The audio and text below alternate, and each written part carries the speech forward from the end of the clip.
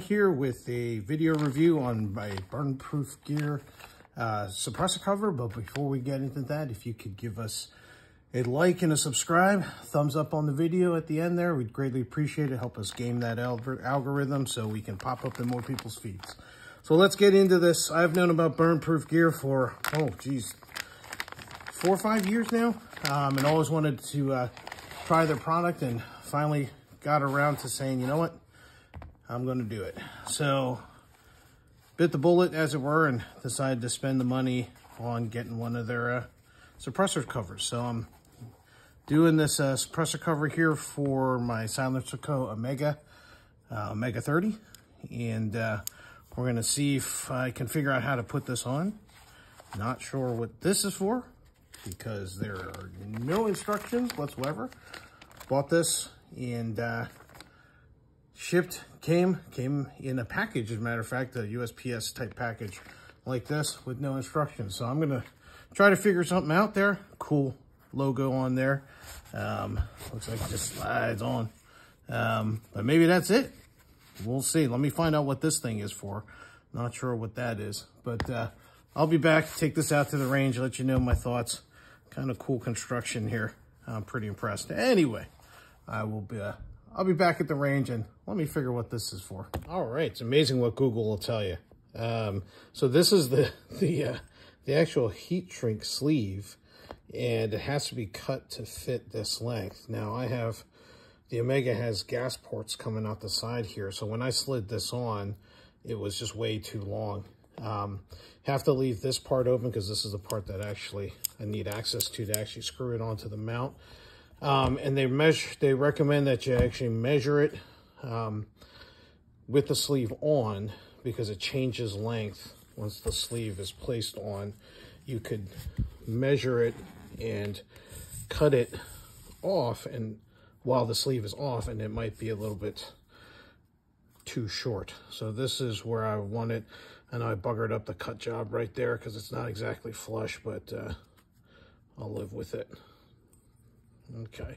Then we got to put this one on, this, uh, the, the actual cover on. All right. So once you get the suppressor cover on, you're supposed to pull these, each individual ones of these tight.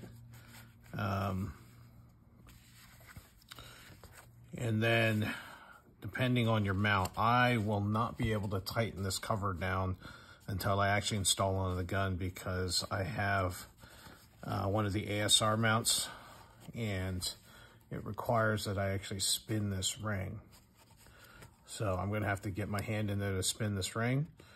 Once that lock ring is on, then I would finish tightening the, uh, I would finish tightening the cover so that this actually wraps around the end of the suppressor so it doesn't slide forward when you fire. Then I would finish by wrapping all of this around, finding a free end to loop through this loop, and then come back around and loop it over top. If I need to do multiple times, I would. And then this would be, uh, I guess this would be it. And I said their logo, I believe their logo, this is their logo upright. logo needs to be upright uh, on the ejection side of the gun. So I think this is their logo. I think it's upright, maybe. Again, no packaging. So there you go. Um, I'm going to take this out to the range. I'm going to shoot it a bunch. Uh, well, I'm not going to shoot it. I'm going to shoot the suppressor a whole bunch. And then uh, see how uh, how much it keeps the heat off my hands. So see how easy it'll be take able to take off. Uh, I'm already foreseeing an issue with the ASR uh, or this this ring. Um, not sure how I'm gonna handle that in the long term, but uh, we'll see. Go out to the range and I'll I'll figure it out at the range.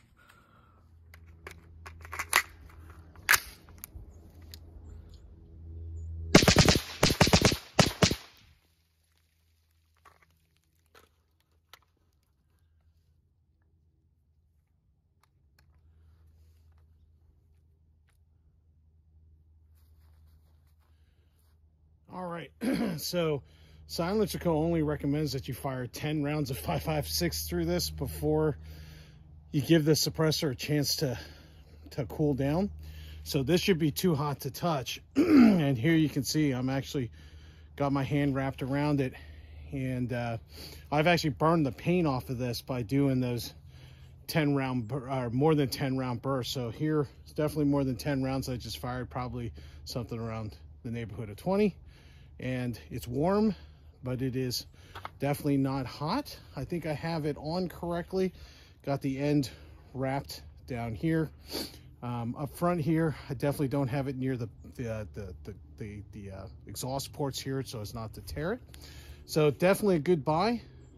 All right, definitely warm, it's not too hot to touch. Uh, so there you go. Hopefully you found this helpful. If you would, please give us a thumbs up, hit that subscribe button, and hit that bell notification icon off to the right there so you can be notified of any new content that we might post. Hopefully this helped you make a purchase decision. Um, so there, yeah, we got to end the video now. Thank you so much for your time. Stay safe, and we'll see you out on the range.